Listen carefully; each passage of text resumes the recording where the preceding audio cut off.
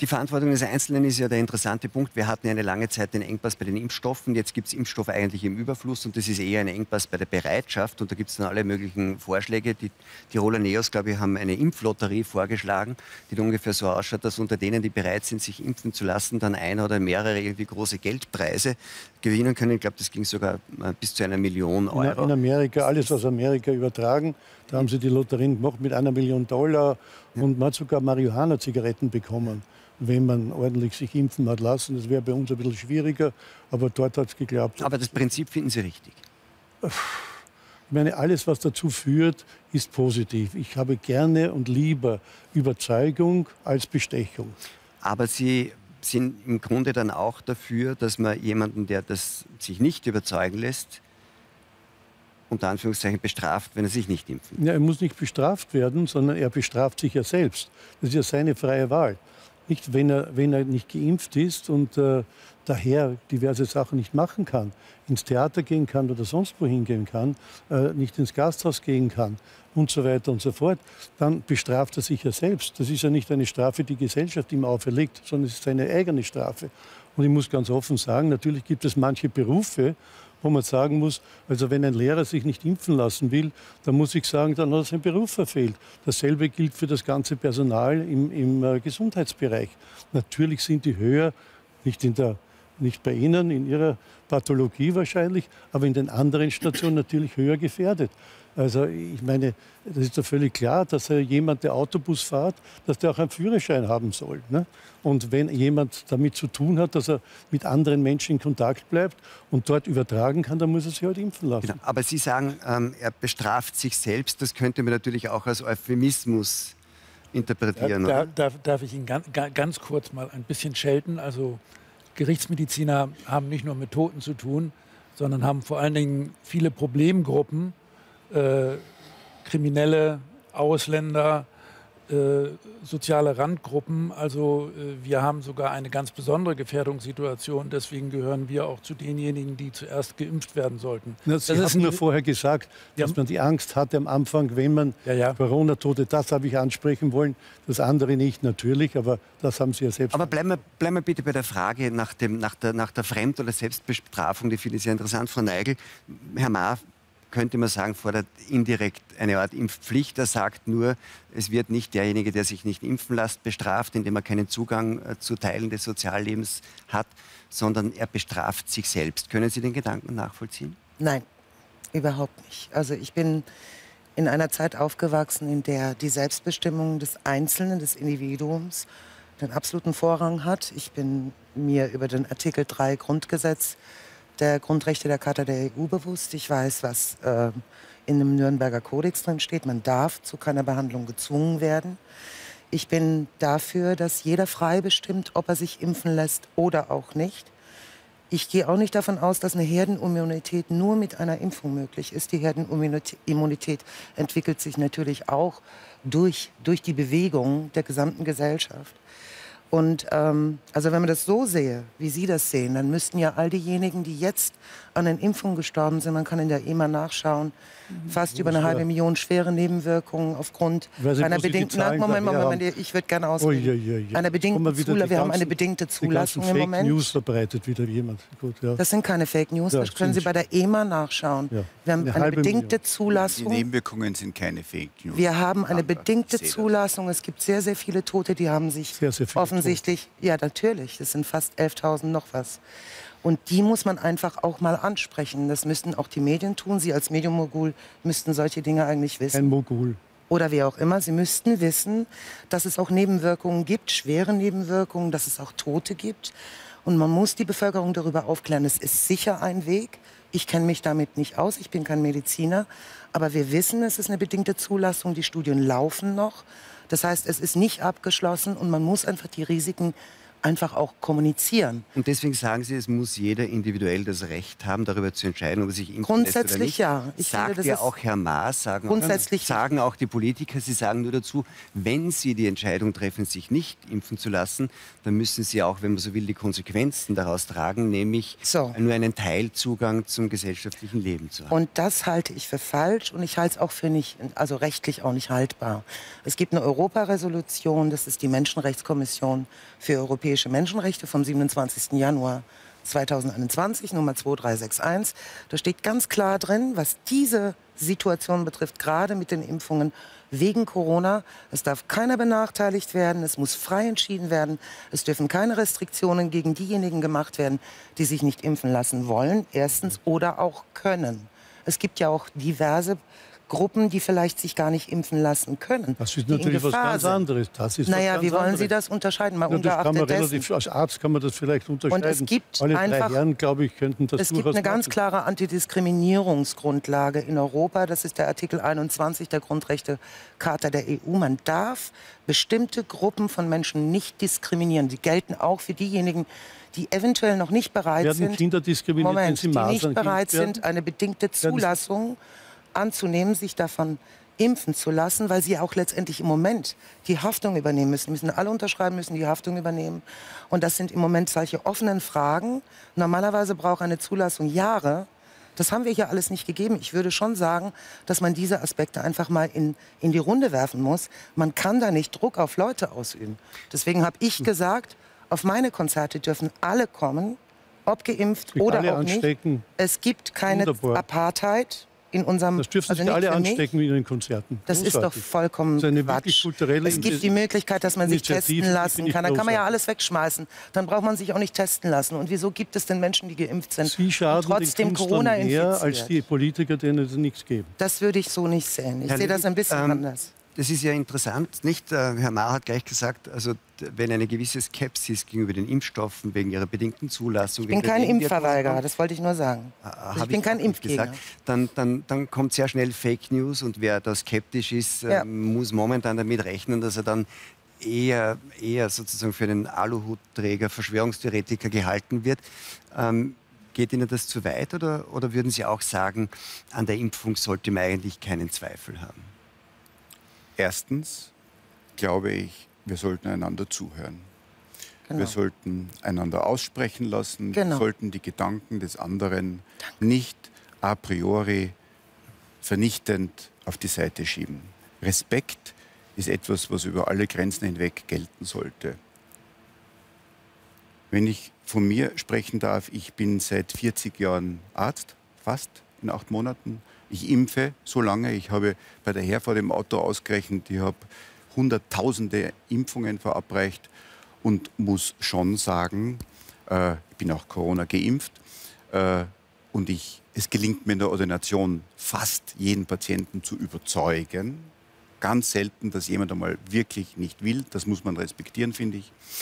Äh, aber so viele Nebenwirkungen wie auf diese Impfung habe ich einfach noch nicht gesehen. Und ich bin sicher, ein Arzt, der versucht zu kalmieren, den Patienten die Angst zu nehmen. Natürlich ist die Erwartungshaltung an die Nebenwirkung der Impfung groß und dann kommt die Nebenwirkung auch eher, das wissen wir, es gibt ja auch da einen Nocebo-Effekt wie den Placebo-Effekt. Trotzdem, so viele Nebenwirkungen gab es noch nie auf eine Impfung und Sie dürfen das ja. nicht mit der Masernimpfung vergleichen, wo ich nie Nebenwirkungen gesehen habe. Herr Löwy, darf ich da nur noch eins anfügen, weil ich möchte dann einen Schritt weitergehen diese, diese Impfskepsis gibt es ja und die gibt es auch besonders, wenn jetzt dann der nächste Schritt kommt, der gefordert wird, dass man nämlich nicht nur Jugendliche ab 12, sondern auch Schulkinder in der Grundschule impft.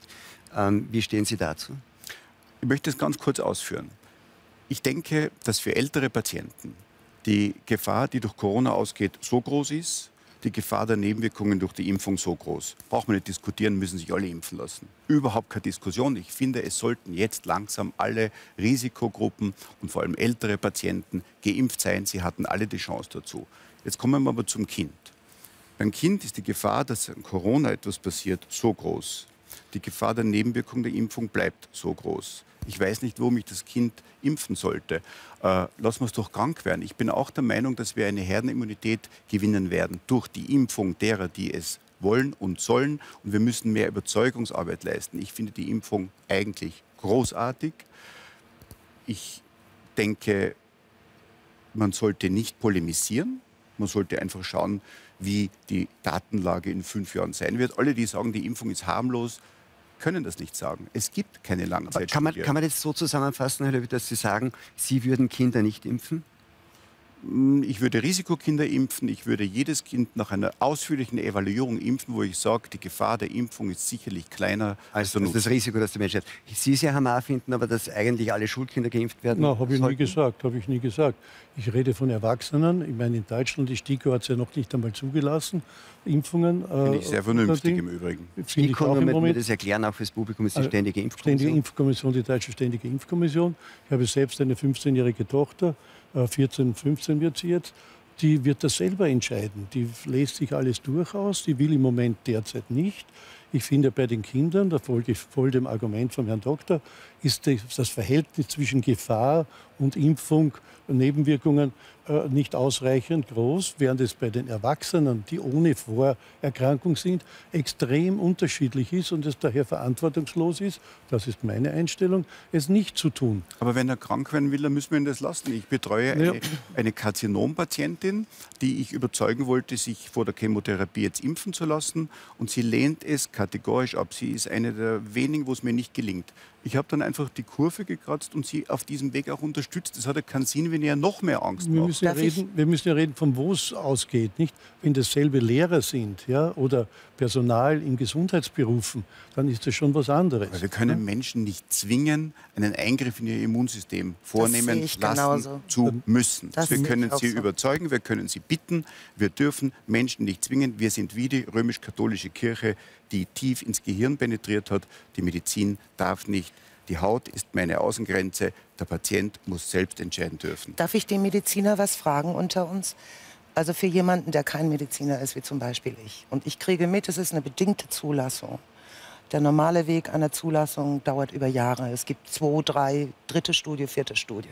Jetzt sind wir hier gerade in der dritten Studie. Das ist doch richtig mittendrin. Nein, die wird zugelassen. Wir, wir aber eine bedingte Zulassung, das ist eindeutig. So ist es auch kommuniziert und so steht es auch bei der Aber das heißt nicht, dass es keine Phase 3 gegeben hat. Man konnte nur Naja, eine Phase 3, eine Phase 3 muss normalerweise zwei, drei, vier Jahre sein. Also die Phase 3, soweit ich das als Laie weiß, bedeutet die Nebenwirkungen, die langfristig sind. Zum Beispiel auch, wenn man Kinder bekommt und so weiter. Das ist ja alles übersprungen. Also ist es doch schon alleine deswegen moralisch und ethisch überhaupt nicht vertretbar zu sagen, das ist alles 100 Prozent sicher, weil wir haben bei einer Masernimpfung, ich weiß nicht, wie lange die schon auf dem Markt ist, Sie werden das alle wissen, ein paar Jahrzehnte, da weiß man, was mit den Menschen passiert. Man weiß, wie das ist in vier, fünf Jahren. Man kennt die Folgen. Man kann die Nebenwirkungen sehr gut einschätzen. Das ist jetzt hier zum Beispiel nicht der Fall. Das war eine Frage an die Ärzte. Lass mal die, lass mal die Ärzte ja. vielleicht kurz antworten. Herr ich will das aber wissen. Wieso? Ja, sehr gerne. Ja. Also ich bin in sehr vielen Punkten mit Ihnen konform. Aber mhm. in einem Punkt stimme ich nicht überein. Wir haben auch bei allen diesen derzeit zugelassenen Vakzinen, ähm, egal welches Produkt und welches Produkt wir jetzt diskutieren, wir sind mit all diesen Produkten in der Phase 4. Das heißt, jedes Produkt durchläuft eine Produktentwicklung 1, 2, 3 und 4. 4 bedeutet Zulassung, unabhängig davon, ob das eine, ähm, eine Notfallzulassung ist oder nicht. Es ist eine Zulassung und damit sind wir in der Phase 4. Die Phasen 1, 2 und 3 wurden nicht übersprungen. Sie wurden verkürzt. Sie wurden teleskopiert, das wie das bei anderes. uns heißt. Ja, teleskopiert bedeutet, man versucht die Zeitspannen sozusagen zu optimieren und, und äh, verkürzt die einzelnen Phasen, aber sie wurden nicht übersprungen. Ich gebe Ihnen aber schon in dem Punkt recht, dass man selbstverständlich, wenn man diese Testphasen verkürzt, die Phase 1, 2 und 3, wenn man das auf wenige Monate oder ein halbes Jahr reduziert, dass die Datenqualität, die man in dieser kurzen Zeit sammeln kann, unmöglich die gleiche sein kann, wie wenn eine Studie über viele Jahre. Das muss man doch realistisch sehen. Man kann doch nicht Jahre. Ja, wir sind uns ja, wir sind ja das geht hier nicht. konform. Die Datenqualität, sage ich, kann nicht die gleiche sein. Aber was macht man denn jetzt?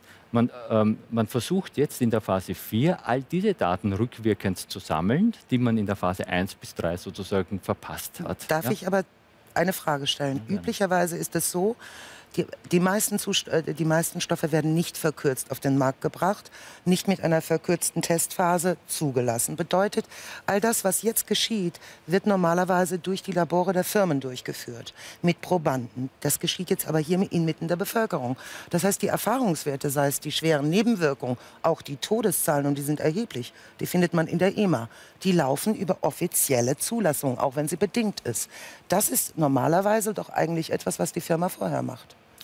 Normalerweise. Also, also wie gesagt, ich weiß von sechs, sieben Jahren, bevor so etwas rausgeht. Ich bin kein Arzt, aber ich finde schon, man muss den Menschen die Chance geben, sich bis dahin mal das anzusehen und zu sagen, nö, also auf Versuche dieser Art möchte ich mich nicht einlassen. Ich bin, wie gesagt, kein Impfgegner. Auch ich wurde schon mehrfach geimpft. Aber ich finde, man muss einfach die Kirche im Dorf lassen. Und man darf die Leute nicht diskriminieren und sie so psychisch, moralisch oder auch wirtschaftlich unter Druck setzen. Und es ist, wie gesagt, die, der Europarat hat auch gesagt, es ist menschenrechtsverletzend. Man soll es gar nicht tun. Ich glaube, der, der, der, Grund ähm, auch für diese Verkürzungen ist ja immer, dass man sagt, was wären die Alternativen und, und der Wunsch, den alle haben, mhm. glaub, egal ob sie jetzt große Befürworter oder mhm. Skeptiker sind gegenüber dem Impfen, ist ja, dass wir aus dieser Situation, in der wir sind und jetzt 18 Monate waren, wieder rauskommen in sowas wie Normalität. Und da sagen nun sehr viele, einer der wichtigsten Wege oder vielleicht der wichtigste Weg ähm, in, zurück in diese Normalität sei die Impfung. Jetzt kann man sagen, wir hatten, jetzt ja auch, wir hatten jetzt ja eigentlich auch einige Wochen sowas wie Normalität und jetzt wendet sich das Blatt gerade wieder. Bis vor kurzem, hören wir vielleicht noch mal kurz rein, was vor gar nicht so langer Zeit der österreichische Bundeskanzler Kurz über diesen Sommer gesagt hat und was dann daraus geworden ist. Bestens gelaunt und schwer optimistisch trat Kanzler Sebastian Kurz noch am 17. Juni vor die Presse. Es kann wieder getanzt, gefeiert und geheiratet werden, sagte Kurz und versprach den Bürgern einen Sommer wie damals. Von diesem unbeschwerten Sommer scheint nun jedoch wenig übrig zu bleiben. Nach erneut steigenden Infektionszahlen zieht die Regierung bei Maskenpflicht und im Nachtleben wieder die Schrauben an. Und große Pop-Events wie das Frequency Festival in St. Pölten wurden inzwischen wieder komplett abgesagt. Und aus der bisherigen 3G-Regel wird nun teilweise eine 2G-Regel. Vom Coronavirus Genesene unterliegen seit dieser Woche wieder der Testpflicht, wenn sie am Club- und Barleben teilhaben wollen. Herr Löwitt, Konzerte werden abgesagt. Gerade gesagt worden, auch dieses große Festival mit 40.000 Besuchern. Maskenpflicht gilt immer noch ähm, in Wien auch in allen Geschäften. Also es geht wieder in Richtung Verschärfungen. Zugleich, was auch medizinisch interessant ist, erkennt man eigentlich Genesenen sozusagen den Status ab, dass sie eigentlich genauso immunisiert sind wie Geimpfte, was medizinisch, glaube ich, ein bisschen fragwürdig ist. Ähm, die Inzidenzzahlen steigen. Sie haben das zuerst angedeutet. Wenn das jetzt in erster Linie bei jüngeren Leuten ist, würden Sie sagen, man soll das ähm, so lassen und sowas wie eine eine Vergrößerung der Herdenimmunität durch Ansteckung riskieren? Ich, wenn Sie mich so direkt fragen, möchte ich ganz ehrlich direkt antworten. Ich denke, es ist soweit, dass wir wieder zu einer Art Normalität zurückkehren sollten. Und wenn unsere Impfung das hält, was wir versprechen, äh, dann sollte es eigentlich so sein, dass die, die in Gefahr sind, geschützt sind Wer nicht geschützt ist, ist selbst schuld und wird die Konsequenzen ertragen, sei es Krankheit, sei es Intensivstation, sei es Tod. Achtung, alle Menschen sterben irgendwann am Ende des Lebens. Ähm, und lassen wir doch die, die krank werden, krank werden. Wir, wir sind, glaube ich, fast schon dort, wo wir, äh, das würde ich überhaupt auch einmal zum äh, Denken, äh, zu bedenken geben, normale Grippewellen gibt es ja keine Grippe mehr, seit wir das alles so auf Null geschalten haben. Vielleicht machen wir das ab jetzt jeden Winter, dann haben wir auch keine Grippekranken. Also ich finde manche Dinge, und ich nehme Corona sehr ernst, ich nehme es in meiner Ordination sehr ernst, gehen ins Absurde. Äh, und damit könnte jetzt langsam, glaube ich, Schluss sein. Aber das heißt, Herr Büschel, der österreichische Bundeskanzler hat es fast philosophisch ausgedrückt und hat gesagt, jetzt, wo der Großteil der 50, über 50-Jährigen geimpft ist und jedenfalls jeder, der das will und sagen, das ist quasi ein Risiko sieht, das geimpft ja werden kann, weil ausreichend Impfstoff ist, damit ist eigentlich die Rolle des Staates sozusagen genau. als Regulator vorbei und Corona wird zum individuellen gesundheitlichen Risiko dem jeder auf seine Weise begegnen kann, indem er sich durch eine Impfung immunisiert oder sich der Ansteckung aussetzt und glaubt, dass er, weil er ein gesundes Immunsystem hat, einen milden Verlauf hat und dann immunisiert ist. Würden Sie dem zustimmen? So wie Herr Löwitz sagt, eigentlich, und es gibt auch viele äh, hochrangige Mediziner, die das sagen, sobald jeder, der sich äh, gefährdet fühlt, die Möglichkeit hat, sich impfen zu lassen, ist eigentlich die Rolle des Staates vorbei. Also ich muss verschiedene Dinge sagen. Erstmal, ich bin ganz klar für die Vernunft. Und ich finde es unvernünftig, sich nicht impfen zu lassen. Als Gerichtsmediziner bin ich übrigens gegen fast alles geimpft, was es gibt. Und äh, kann auch sagen, die Statistik ist eindeutig. Impfungen führen zu einem deutlich verlängerten Leben. Rechtsmediziner, die in internationalen Einsätzen sind, überall auf der Welt, müssen damit rechnen, dass sie auch eine japanische Zeckenenzephalitis bekommen können. Und ich bin sogar gegen sowas geimpft. Und insgesamt ist die äh, Situation durch die äh, Impfung auch hier in Deutschland natürlich viel besser geworden oder in Europa. wir müssen sogar dafür sorgen, dass woanders auf der Welt viel mehr geimpft wird. Auch das muss man sagen. Mhm. die Problematik liegt jetzt natürlich darin, dass die Alten ihren Impfschutz schon langsam wieder verlieren. Da haben wir wissen noch wir Aufgaben. Genau, auch ne? wissen wir ganz gut. Nach sechs Monaten wird es schlechter. Deswegen müssen wir uns vielleicht ein drittes Mal impfen lassen. Ähm, ich will noch ein Faktum beisteuern, äh, weil hier von den Toten durch Impfungen die Rede ist. Nicht jeder, der im zeitlichen Zusammenhang mit einer Impfung stirbt, äh, ist infolge der Impfung gestorben. Wir das ist ähnlich wie bei Corona. Ne? Das ist genauso genau, wie bei Corona. genau dasselbe Problem, aber andersherum.